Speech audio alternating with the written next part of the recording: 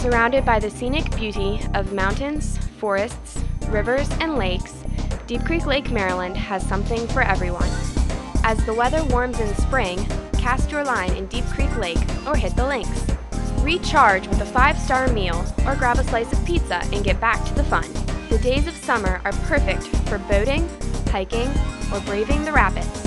View the stunning fall foliage during our annual Autumn Glory Festival. In winter, enjoy skiing, snowboarding, or snow tubing.